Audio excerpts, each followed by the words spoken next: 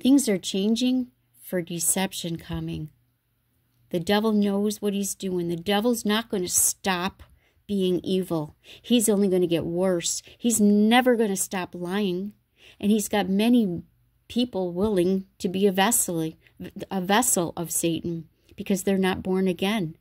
They're not saved. They're not Christians.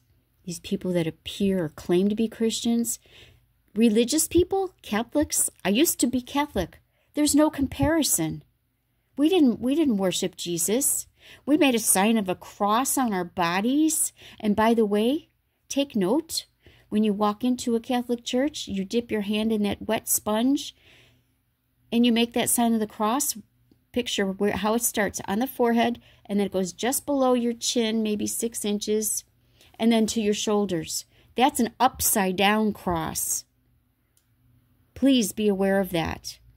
That's one reason you shouldn't go into that place.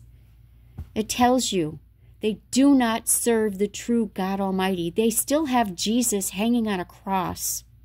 And they're going to be used in these last days, especially in the tribulation period of time. Many people believe that the Pope is, uh, is probably the false prophet that the book of Revelation will be teaming will be speaking of and he'll be teaming up with the antichrist. They're both going to cause many people, small and great, rich and poor, free and bond, to receive a mark in the right hand or forehead that they might buy or sell. If you don't, you will not be able to buy or sell if you don't accept the mark.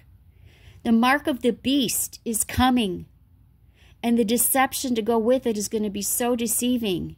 But you got to get saved now before the rapture happens so you're not here to, to fall into that trap of the deception that's coming. It's going to look so tempting, and you're going to be tormented by starvation if you don't accept it. That thing that the Antichrist and false prophet, most likely the Pope, are going to be buddying together behind the scenes or right out in front, charming people with their lies Satan comes to steal, kill, and destroy. One day, every knee will bow, every tongue will confess that Jesus Christ is Lord to the glory of God. So you bow now. Accept Jesus Christ into your life, in your heart, and your mind. Confess your sins to Him. If we confess our sins, He is faithful and just to forgive us of our sins and to cleanse us from all unrighteousness. It's Jesus and only Jesus, the Son of God, who is God in the flesh. Oh, yes, He is. He's the only one that can save you from your sins. He came into this world specifically to go to the cross to pay the price for our sins with his precious blood. He's the final lamb, the lamb of God. Many thousands and thousands and thousands of lambs were sacrificed before Jesus came to pay the price for man's sins. But Jesus became the final blood sacrifice, the final Lamb of God. And he paid the price for our sins on the cross with his blood. And he suffered so greatly for us. And then he died on that cross to save us from our sins without a fight. He knew what he had to do, and he accomplished it. He was buried. And three days later, victory in Jesus. He rose again from the dead. Hallelujah. That's it. Jesus is Lord. Jesus is our victory. Jesus is our Savior. We need Jesus and only Jesus. We are the Christians. We are the brothers and sisters in Christ. We are the church, the born again believers in Jesus. We are the church. We follow the shepherd, the good shepherd, Jesus. He's our Lord, our Savior, the good shepherd. He's the, one who will lead us and guide us to all truth through the power of the Holy Spirit he sends to live within us when we call on his name to be saved. Hallelujah. Hallelujah, hallelujah, hallelujah, hallelujah. Praise the Lamb. Hallelujah, praise the Lamb.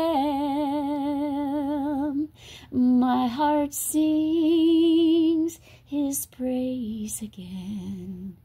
Hallelujah, praise the Lamb.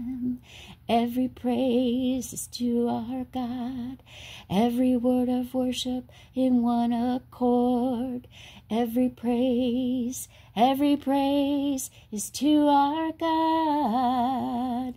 God our Savior, Jesus, God our healer. God our deliverer, yes, He is. Yes, He is.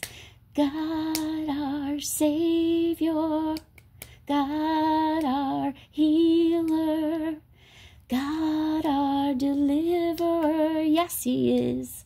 Yes, He is. Yes, He is. Oh, yes, He is. Do you know Him? He's Jesus, Lamb of God. Worthy is his name. One more time. His name is like honey on my lips. His word is a lamp unto my feet and yours. His spirit's like water to our souls. Oh, Jesus, we love you. We love you. Jesus.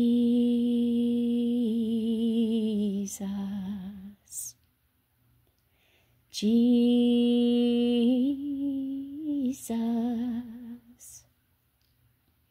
Holy and Anointed One, you're our Jesus.